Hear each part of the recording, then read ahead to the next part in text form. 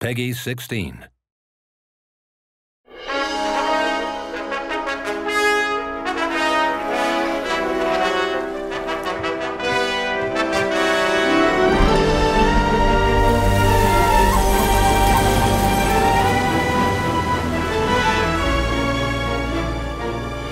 皆さんこんにちはハプコンの辻本です今回はデベロッパーダイアリーという形で皆様にゲーム情報をお届けしたいと思っておりますというわけでですね今回も開発から2人呼んでおりますまずはこちらはい、えー、っとモンスターハンターワールドアイスボーンで、えー、アートディレクター、えー、エグゼクティブディレクターをしている藤岡です。よろしくお願いします。はいそしてこちらはい、ね、今回ディレクターやっております千原大輔です。よろしくお願いします。はいよろしくお願いしま。すはいというわけであのこれからあのゲームの情報をお伝えしていきますがやっぱり狩りに行く前の温泉っていいですねそうですか。ね まあ今回あのね雪国ということで、えまあ暖かい場所も作りたいなっていうことで、まあちょっと今日また紹介すると思うんですけど、うん。ちょっと温泉実はやってまして、まあどうしても辻本さんこの演出したいっていうことで。どうしても本当に。なんかもうスタッフ総出でこう合成していただいて、ねね。はい。あの、ね。もし というわけで後であの、うん。結構音声のシーンとかも出てきますので、はい。これが何という意味があるかっていうのを皆さん分かってもらえると思いますんでじゃあまず始めていこうと思うんですけどまずは、最新のプロモーション映像からご覧ください。どうぞ。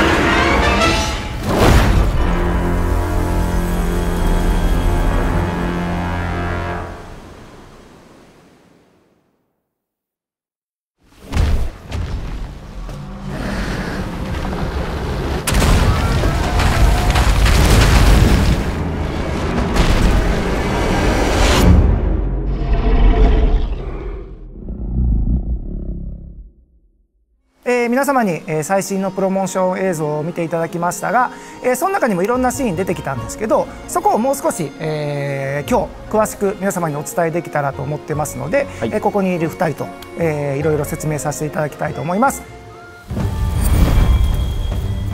まずはですね、えー、とセリエナっていう、まあ、拠点っていうのはもう発表されているんですが、周回エリア、こちらの方があの先ほどのシーンにもあったと思うんですけどそうですね。そちらをちょっと一回紹介していただきたいと思います。今この我々が使ってるほ温泉がですね、まあ、今回伊手地っていうことです。寒冷地なので、まあ、拠点はこうやっぱほっこりしたいねっていうのもありましてでみんなで集まってこう温泉で楽しんでもらえるっていうのも、えーまあ一個いいかなと思って今回温泉を結構軸に集会所作っております。今今出てるところはこれだから集会所の中に存在するってことはい、そうです集会所の中に、えー、と温泉が併設されているような感じ、でも温泉ってやっぱ防具つけたまま入るんですか？あれはそうですね防具をつけたまま入るんですけど、えー、とボタン一つで、えー温泉に入る用の衣装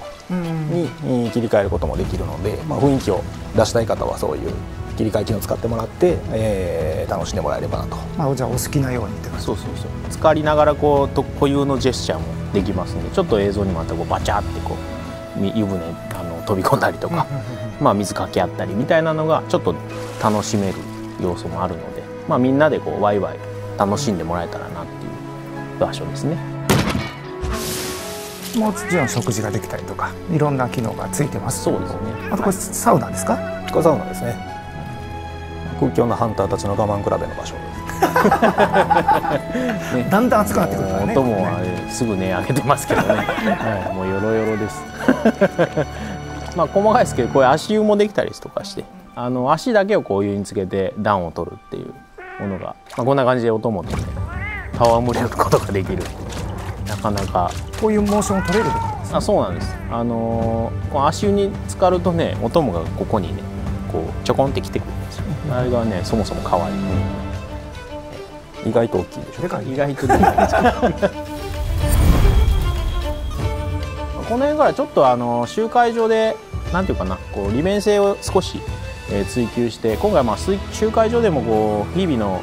クエスト行って戻ってきてのサイクル遊びのサイクルを、えー遊びやすくしたいなっていうのがありまして、まあ、集会場の施設の利便性上げてます。集会場にみんなで集まって、えーモンスターハンターワールド遊んでもらうというところをもうちょっと強めたいなというところで暗転を挟むんですけど労働を挟まずにストレスフリーで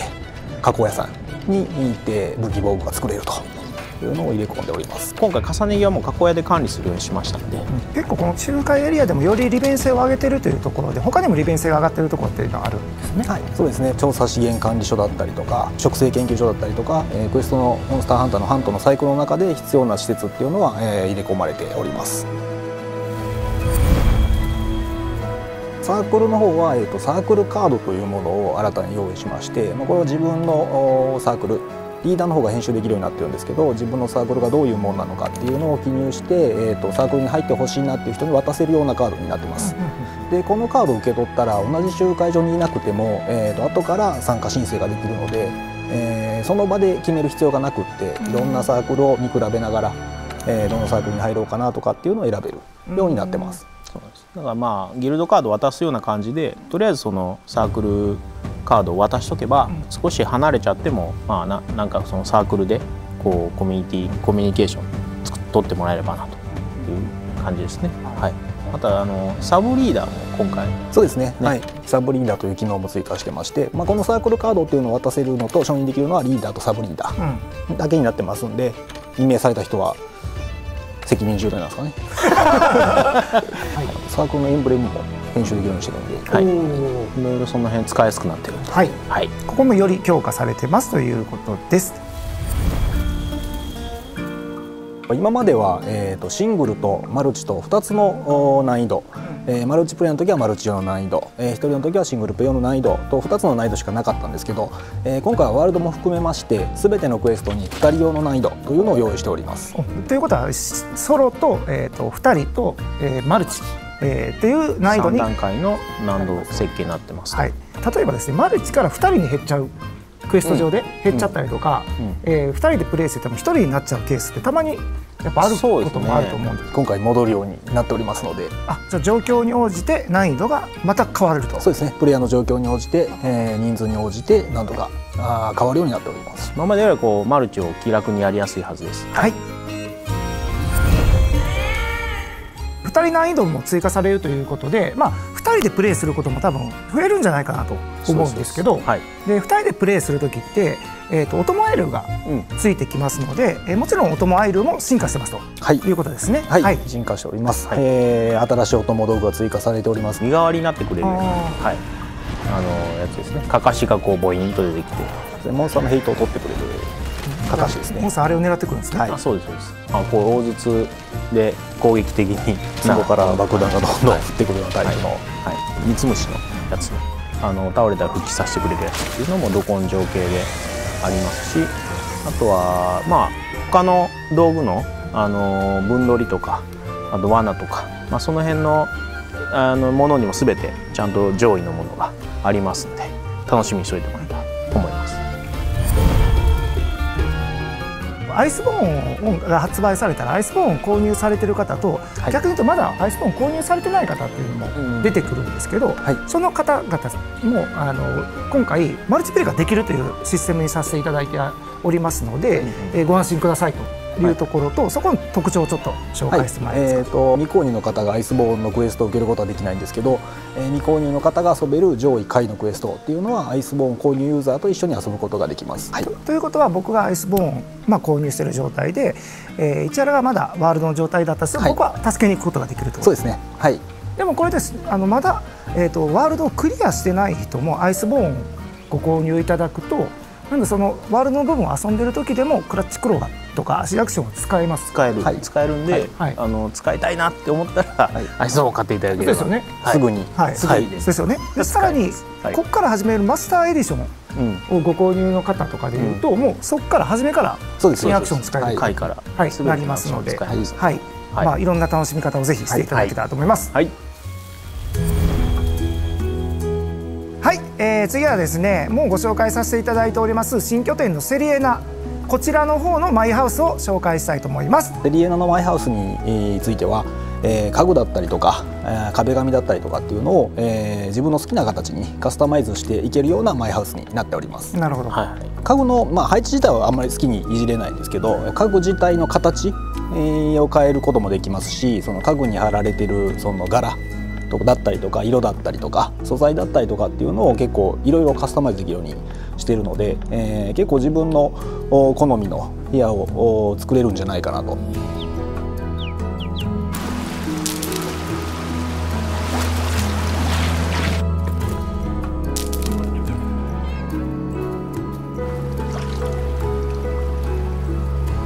今回はこうじゃあ自分なりにこうどんどんカスタムして自分好みのマイハウスにしていこうみたいなのをちょっと取り組んでもらった感じですね。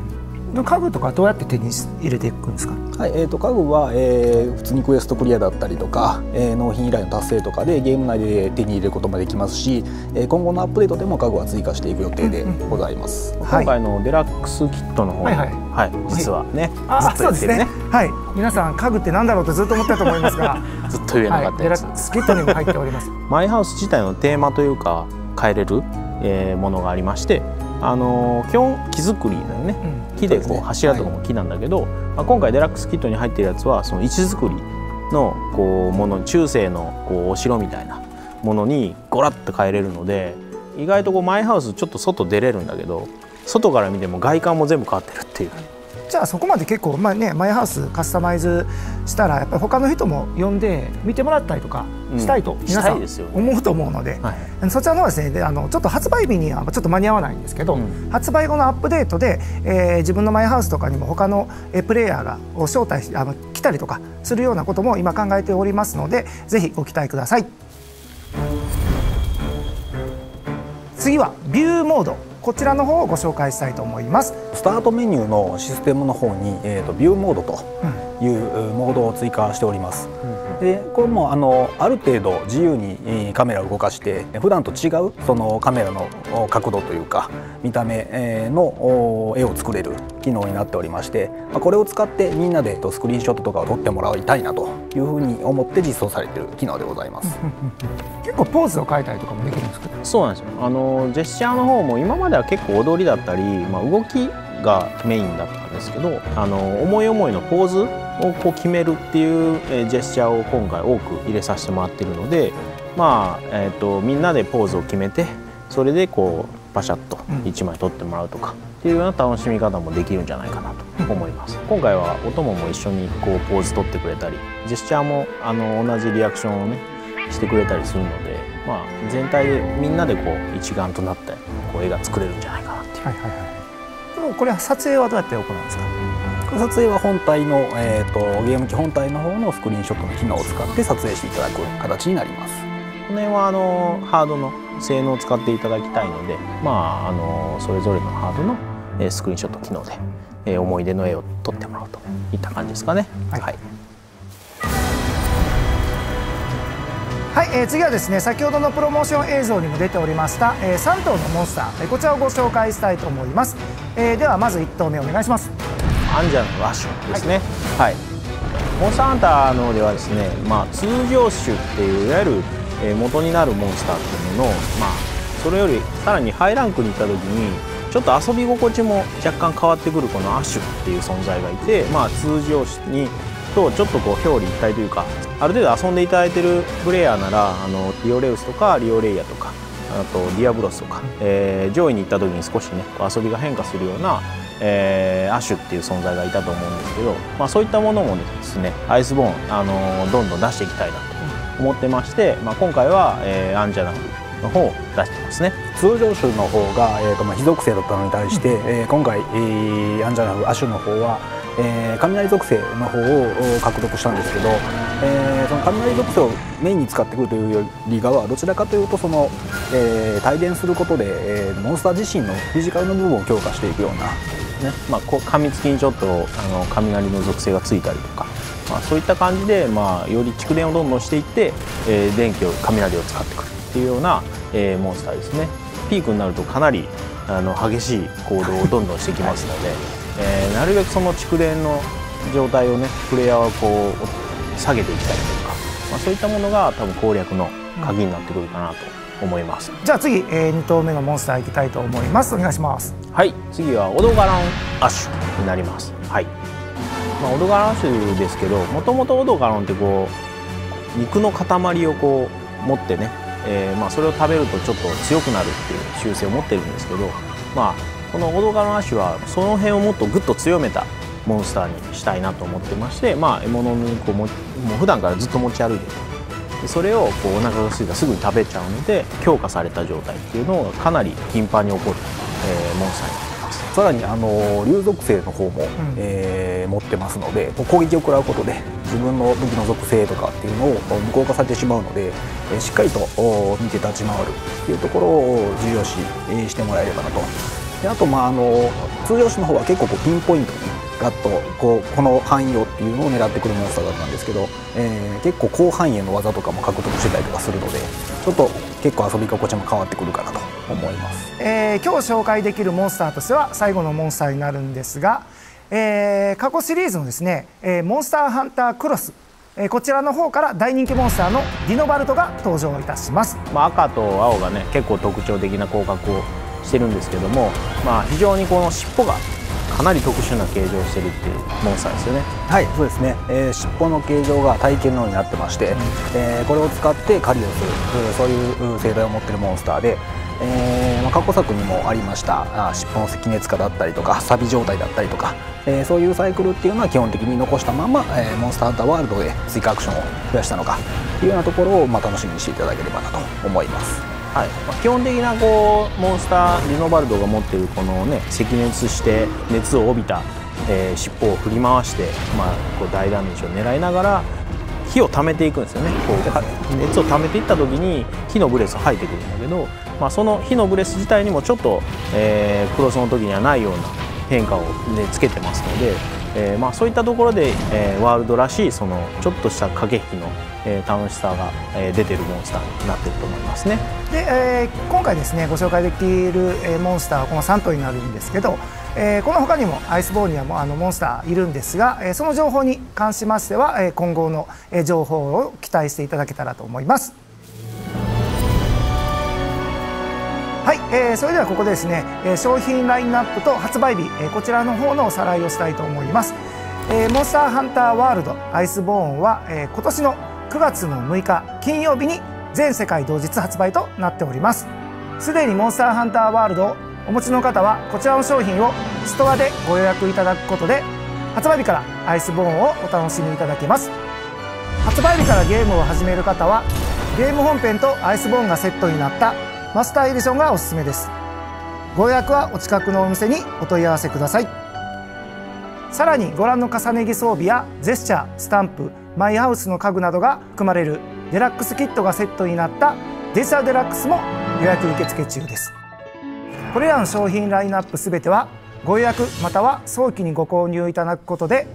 限定特典「ゆくもの」シリーズの重ね着装備を手に入れることができます。はい、えー今回お伝えできる情報は以上となりますが、えー皆さんいかがだったでしょうか、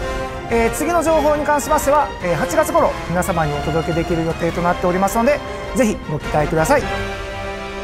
それでは最後はいつものあの言葉で終わりたいと思います。いきます。はい。いきます。はい、人狩り行こうぜ